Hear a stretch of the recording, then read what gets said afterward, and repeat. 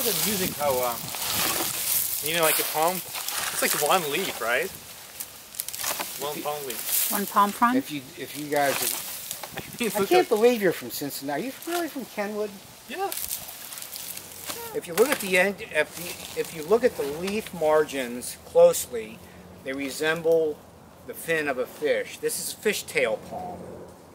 Okay, the early Native Americans in the area would take the fishtail palm leaves, crunch them up, and throw them in the water. Okay, Is it toxic to eat?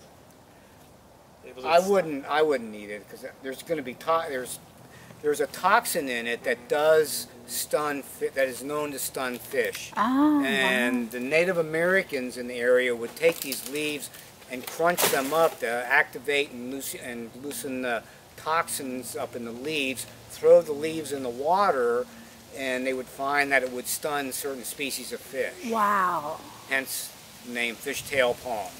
And you'll find this uh, quite ubiquitous in South Florida here. And it is an exotic. It's not an invasive exotic, but it's an exotic species of palm. The restrooms are right up the road, ma'am. They're right up the road. You can use the restroom. Okay, okay, stay in focus, Jim. Oh, I'm sorry. I'm sorry. We we- we're always trying to help the park visitor here with, with however we can. The um, that clamoring snake cactus, what some people call a snake cactus, is actually night blooming cereus. It will bloom one night a year.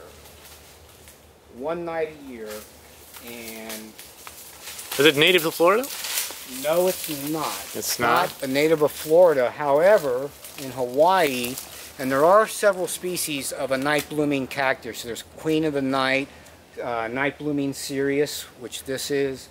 Um, however, in Hawaii, they actually have parties, night blooming cereus parties, where they will set up lounge chairs, food, buffet, whatever, because it's such a great um, uh, act of nature, if you want to call it that, that you have this one uh, flower that blooms one night a year. And that gives it one chance to be fertilized and to turn into a seed and reproduce itself.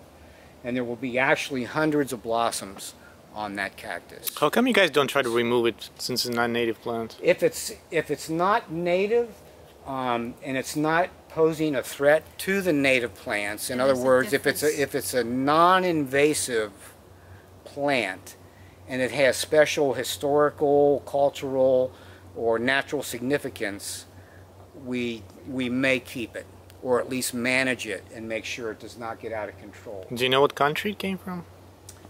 It's a tropical species. It's a tropical species. I don't know what country it originates mm. from.